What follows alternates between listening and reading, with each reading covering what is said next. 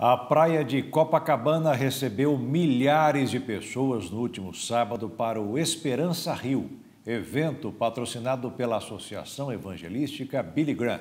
O culto ao ar livre proporcionou momentos de fé e esperança à cidade maravilhosa. Louvores, as areias da praia de Copacabana se tornaram palco de uma cruzada evangelística neste sábado. O Esperança Rio proporcionou aos moradores e turistas da cidade a mensagem do Evangelho por meio de música, dança e pregação. O evento começou às quatro da tarde com programação voltada ao público infanto-juvenil. Mais, não só as crianças, como os adolescentes, a gente que precisa mais de Jesus no coração. Desde cedo a gente já tem que ensinar o caminho que elas devem andar. E essa programação tem sido muito boa para isso. Você está aprendendo?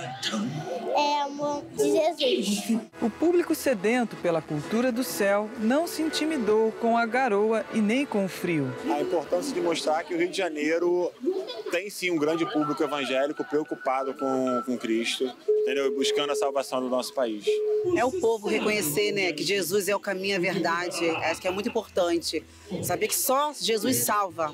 A iniciativa da Associação Evangelística Billy Graham, em parceria com mais de 4 mil igrejas brasileiras, proporcionou aos participantes momentos de alegria, mas também de reflexão. A cantora Aline Barros e o rapper americano KB falaram sobre o impacto que o avivamento produzirá na igreja brasileira. Tudo muda quando o avivamento chega num lugar e nós temos buscado isso. Nós temos buscado a presença de Deus, o fogo de Deus, para que vidas sejam salvas, para que vidas sejam levadas ao arrependimento nesse tempo, para que o nosso país seja transformado, impactado.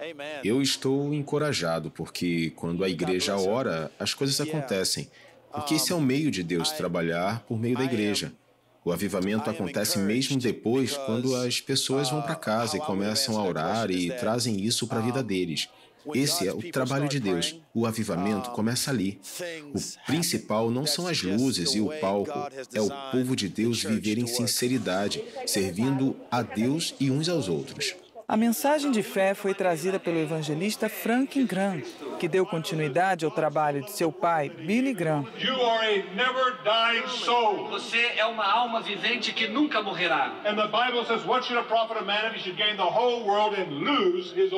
E a Bíblia diz de que adianta uma pessoa ganhar o mundo todo e perder a sua alma. Frank Graham tem pregado em mais de 50 países e territórios em pelo menos 275 ações evangelísticas como Esperança Rio. Esta é a quinta vez que ele prega no Brasil.